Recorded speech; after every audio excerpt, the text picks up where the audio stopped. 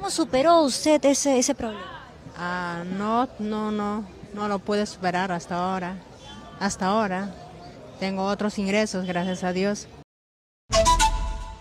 Como todas las noches hemos llegado nuevamente al Girón de la Unión y es que hoy día vamos a hablar acerca del fracaso, qué tan importante o cómo podemos enfrentar el fracaso no solamente en lo laboral, también en lo económico o tal vez en las relaciones amorosas. En particular, Pedro, yo creo que el fracaso es parte de aprender, nos enseña y así a la próxima podemos establecer cualquier de estos, de estos vínculos de una manera muchísimo mejor. Pero vamos a consultar aquí precisamente con las personas qué es o si ellos han enfrentado alguna vez el tema del fracaso en cualquiera de estos ámbitos. Vamos a comenzar nuestro recorrido por acá. Ver, acá la ceñito, yo la veo muy alegre. Vamos a ir por acá, Pedro, la señora de acá. Ceñito, ¿qué tal? Estamos en vivo para Exitosa. La dejaron solita, no importa. Señora, ¿algún, ¿alguna vez usted ha enfrentado el fracaso, ya sea en, una relación, en lo económico? ¿Ha fracasado alguna? En la pandemia fue. En la pandemia. ¿Cómo así? ¿En, en qué fracasó? Fracaso, o sea, no cerraron todo porque yo tenía mi negocio. ¿Y cómo superó usted ese, ese problema? Ah, no, no, no, no lo pude superar hasta ahora. Hasta ahora. Tengo otros ingresos, gracias a Dios. ¿Negocio de qué tenía específicamente? Todo lo que es iluminación se cerró. Ya, ya no pude, era local alquilado, entonces tenía que retirarme. ¿Cómo lo superó? ¿Con la familia? ¿Cómo logró salir de él? Bueno, siempre con la familia, ¿no? Con mi esposo, estamos ahí, saliendo, sí. Pero ante el fracaso se buscan las oportunidades Claro, también, ¿verdad? Hay otras oportunidades, ¿no? Y yo digo, por eso, gracias a Dios, yo, o sea, no solamente vivía del negocio, sino de otro también, de otro, de otro negocio, ¿no? Entonces en eso superamos. A veces queda como experiencia, ¿verdad? Sí, sí, o sea, mientras joven se trabaja, ¿no? Y ese, ese es lo que me, me salvó. Mientras haya fuerzas, haya actitud, todo se puede. Claro, claro, eso es. Levantarnos del fracaso, entonces usted es un ejemplo de ello. Sí, ¿Qué le diría a todas las personas quizás que como usted han emprendido un negocio no les ha ido bien? Eh, Mira, mientras eh, haya fuerza, seguir adelante, ¿no? Es lo que nos queda. O sea, nunca rendirse. Yo hasta ahora no, no me rindo, sigo, sigo, ¿no?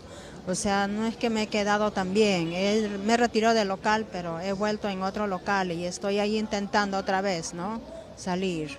Y Dios mediante tendrá muchos más locales, señor. Sí, sí, sí, Así sí. es, la- así. que se pierde. Muchas gracias, qué lindo. Ahí está entonces, Pedro, un ejemplo, el fracaso en cuanto a un negocio, ¿no? Muchas veces uno invierte su tiempo, su dinero en hacer crecer ello, pero pasan circunstancias como en el caso de la pandemia, algo que no se puede prever, ¿no? Como esta pandemia y la señora, como nos ha dicho, ella es un ejemplo de perseverancia, de lucha, de seguir intentándolo una, dos y muchas más veces hasta poder salir de ese problema. Vamos a buscar, a ver otro testimonio por acá, alguien que haya fracasado en otro ámbito tal vez, ¿no? De la vida. A ver, vamos a, a- a consultar, por acá están comiendo, toda la gente come a esta hora, te comento, Pedro. A esta hora todo el mundo está que, está que come. Caballero, ¿qué tal? Estamos en vivo para Exitosa. Uy, no, está buscado acá, Pedro. El señor está buscado y no quiere, él no quiere hablar. No pasa nada. Vamos a buscar a ver más personas por aquí que están disfrutando de esta noche aquí en el Girón de la Unión, con sus hijitos, con sus parejas, en familia tal vez. Buscar otros testimonios por acá acerca del fracaso. Lo importante es no quedarnos ¿no? en la situación, sino avanzar, buscar soluciones, buscar nuevas oportunidades, nuevas ideas para poder salir del fracaso. Señor, ¿qué tal? Estamos en vivo para Exitosa. ¿Qué tal, señor? ¿Alguna vez ha fracasado en la vida en algún ámbito? No, no, no. No, ahí está. No, espera no fracasar en el amor, creo el señor. Se va a ir con su rosa, con su rosa, pero está bien, están disfrutando.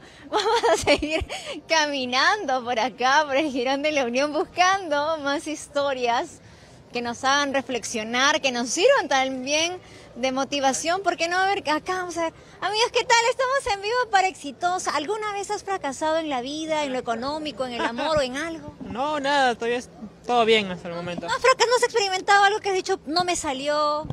Pequeño fracaso, pero uno sabe levantarse. ¿En qué ámbito, por ejemplo? En lo laboral, por Lo ejemplo. laboral. ¿Querías un trabajo y no lo obtuviste tal vez? Eh, no, estaba con un pequeño emprendimiento y al comienzo que iba mal, pero se, se- se supo saber levantar, ¿no? ¿Cómo lo superaste? Eh, mirando a, este, a otros, a otros emprendimientos, eh, mirando programas de Shark Tank, por ejemplo. Era tu primer negocio que Mi ponías. primer negocio, así es. ¿De qué era este negocio? Era de perritos. De perritos. Ajá, sí. Bueno, actualmente sigo con este negocio, tengo ya tres años. En el primer año estaba tambaleando, pero ahorita estoy tres años, ya estoy creciendo más. Y me va bastante bien. ¿Y quién te apoyó? ¿Quién fue este refuerzo? Ah, bueno, me, me apoya mi, mi madre, más que nada. Y también mi- que he encontrado buenos compañeros. Es importante a veces el apoyo de la familia, ¿verdad? Así es. ¿Y, y qué, qué mensaje tú le darías a las personas que como tú quizás han fracasado en ese ámbito? Ah, que bueno, que siempre hay este altos y bajos, pero siempre hay que sobreponerse y mirar para adelante. Mirar para adelante nada más. Está, Muchas gracias. Ahí está Pedro. Entonces, hoy día nos ha tocado hablar del ámbito laboral, porque el peruano es trabajador, Pedro. El peruano es innovador, es emprendedor. Y aquí teníamos dos ejemplos de emprendedores que no les fue bien a la primera, pero como ya hemos escuchado al joven, lo siguió intentando, lo siguió intentando y ahora ya tiene tres años su negocio. Entonces vemos pues que finalmente el fracaso nos ayuda, ¿no? Es parte del aprendizaje. Con esta información volvemos contigo en estudios. Gracias, Yanela.